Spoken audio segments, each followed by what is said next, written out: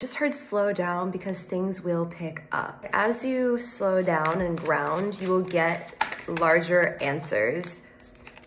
Okay, so we have Page of Feathers reverse. I feel like you don't need to know absolutely everything right now. You are very resilient, so trusting that even if you don't know the answer, you're going to be in the flow. I feel like you have a lot that is going to be illuminated to you about this new path. So maybe adventure, travel is key as well. You're also going to be using your imagination, like envision a new reality with this person is what I'm getting, or even a career situation, but your perception we'll dive into that, what this is for, of the path and being open to new possibilities, having fun with this imagination, let your imagination go wild. And I'm also getting create out of inspiration and love and joy, not don't create or do things to get a result or say things to get a result.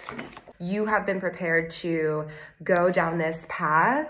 And even if the road is long ahead, like you don't need to rush the result. It's not about the result. It's about enjoying your life. It's about enjoying the journey of what this gift has to offer you.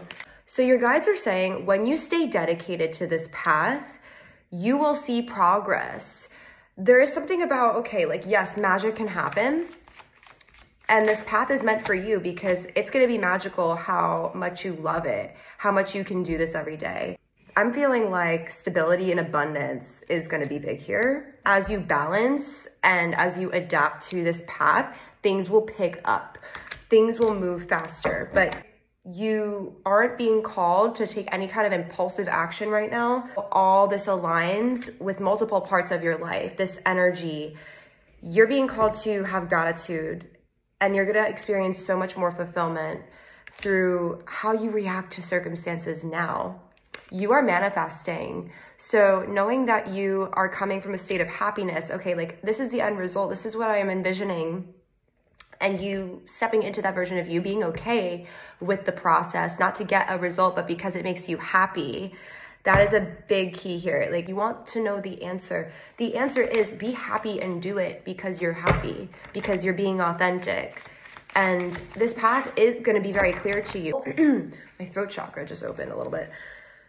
The goal is to create a committed, secure, loving life for yourself and with a person is what I'm getting. So Nine of Crystals, King of Crystals, securing that happiness so it doesn't just fleet away. Like you are meant to live a happy life. Oh my gosh, we have King and Queen of Crystals. This is like also having to do with the divine counterpart, having gratitude, walking alongside them. You're in for both. Like you're in for both happiness in your purpose and love. You're also gaining confidence in this path yeah, like this is bringing you into your dream life. I'm seeing a rebirth, so restarting. I'm literally seeing Monopoly, like a game board or something, and starting from ground zero.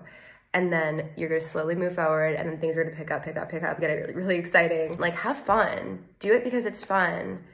You're gonna have a beautiful journey, so keep going. All right, I'm sending you so much love and light.